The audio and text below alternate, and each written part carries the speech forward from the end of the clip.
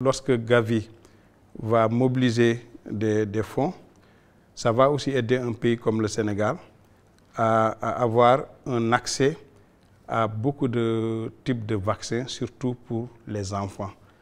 Parce que c'est là où il va falloir mettre euh, l'accent pour assurer une bonne immunisation de cette frange vulnérable de la population. Et cela permettra de, de, réduire un peu les dépenses de santé, surtout dans un pays qui est pauvre comme, comme le Sénégal. Parce que si on n'a pas un système de santé qui est capable parfois d'offrir des soins de qualité, c'est la vaccination qui va aider à prévenir un certain nombre de maladies, faire de sorte que, que le moins de personnes tombent malades pour que le moins de personnes aillent se soigner. Et cela ne peut être possible qu'avec la vaccination. Et je pense que Gavi est un partenaire de longue date du, Sénégal et ils ont eu apporté énormément de soutien dans la vaccination, surtout des, des enfants euh, jusqu'à 14 ans, disons de 0 jusqu'à 14 ans.